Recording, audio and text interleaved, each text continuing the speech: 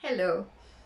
For those who don't know me, I am Lynn Hill. I'm a global inspirer, multi award winning author, professional humanitarian. I'm also the global ambassador of the Rossi Foundation, International Germany, global champion of She Counts, a psycho-educational girl child empowerment program that happens outside of the schooling curriculum.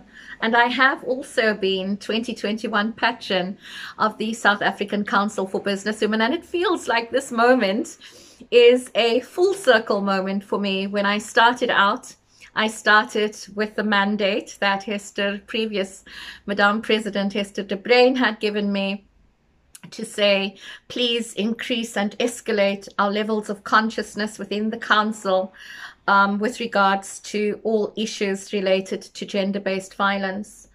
This is my last obligation, official obligation as 2021 patron and it started with gender-based violence and I'm ending with gender-based violence for those who don't know my story, and I'm not going to go into it right now, um, for those who don't know my story, I am a survivor of multiple rape, um, as well as an abuse survivor. Um, my not wanting to go into my story right now is because I am actually so sick of retelling my story. I'm equally sick of reading new stories and hearing new stories. And um,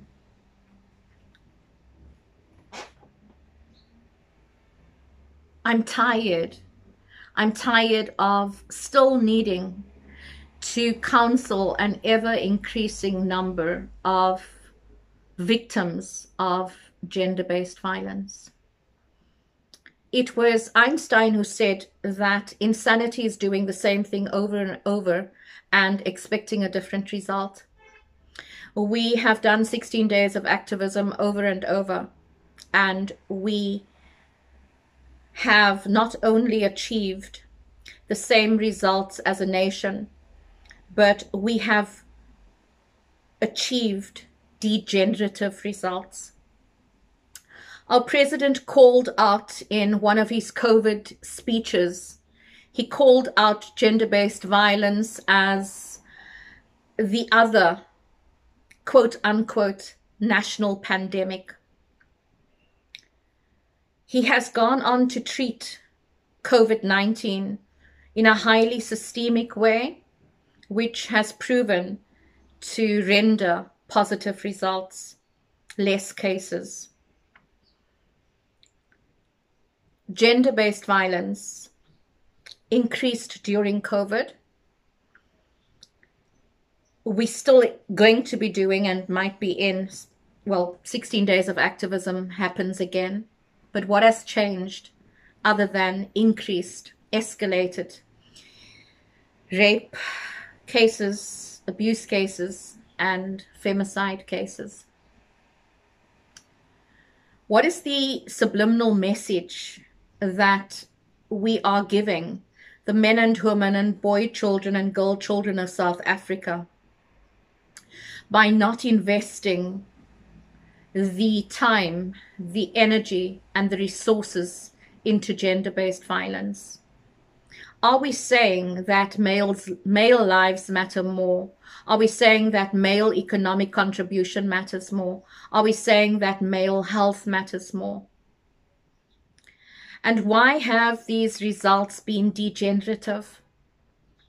They've been degenerative because we got it right as a nation to start normalizing one of the most abhorrent social ills,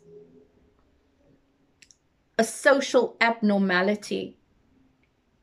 We started to normalize female violation in a culture of non-consequence. On that culture of non-consequence, when I was raped at 15 and I came out of 72 hours of sedation, the rapist who had raped me, a person who belonged to my church. I was allegedly his fourth victim.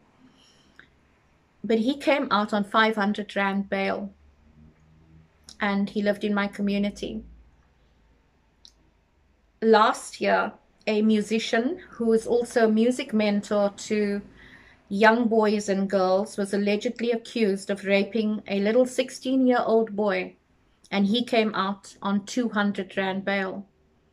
Are you telling me that between 1983 and 2020,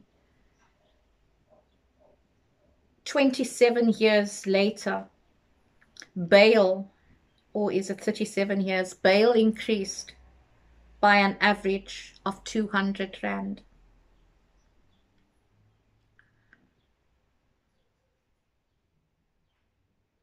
What does it say?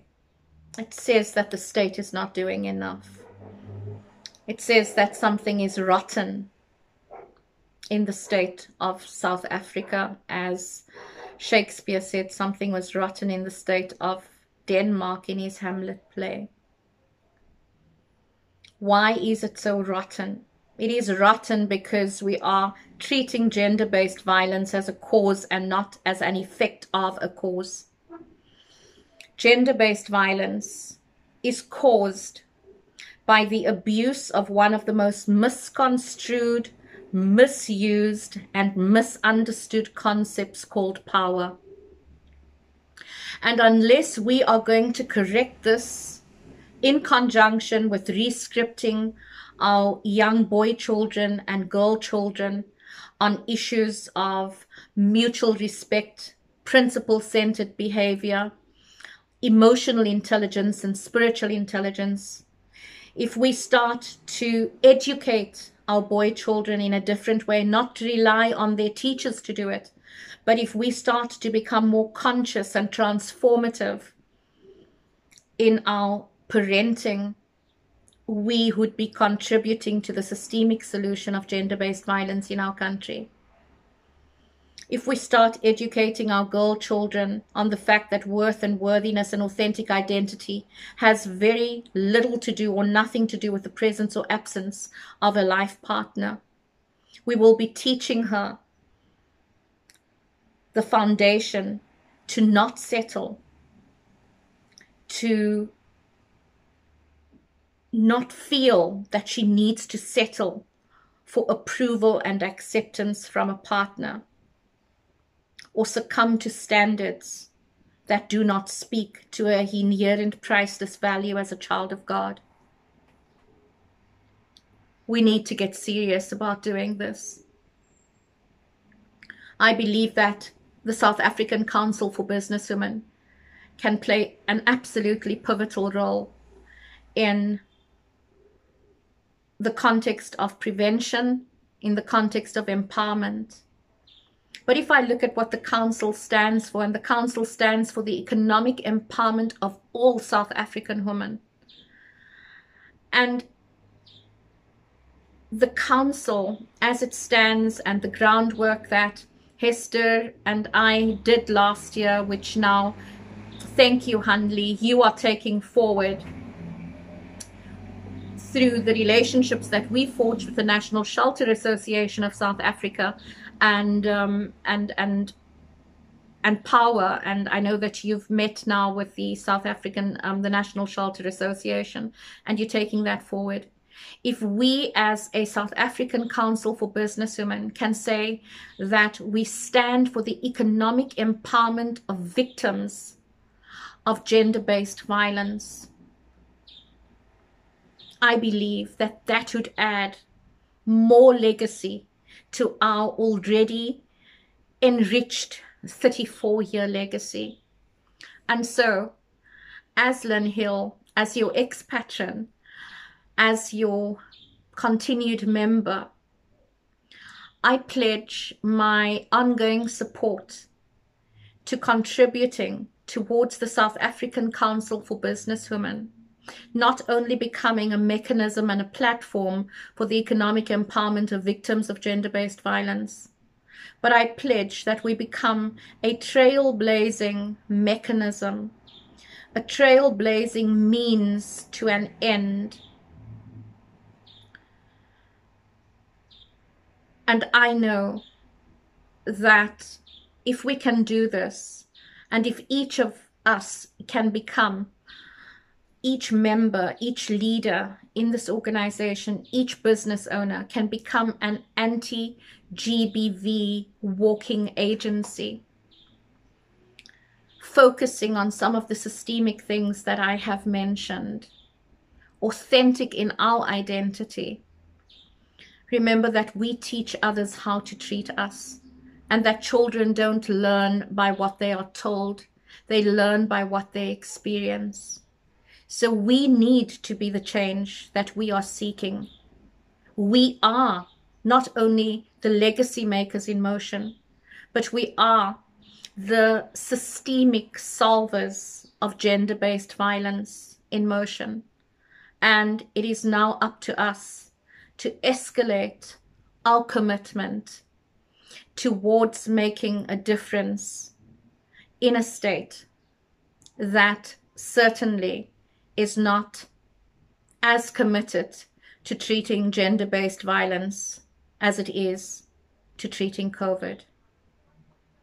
I thank you for this opportunity. I pray that it has spoken to your heart and to your soul. More importantly, I pray that you would activate that conviction to becoming the difference that we are needing within the context of gender-based violence in South Africa. Thank you.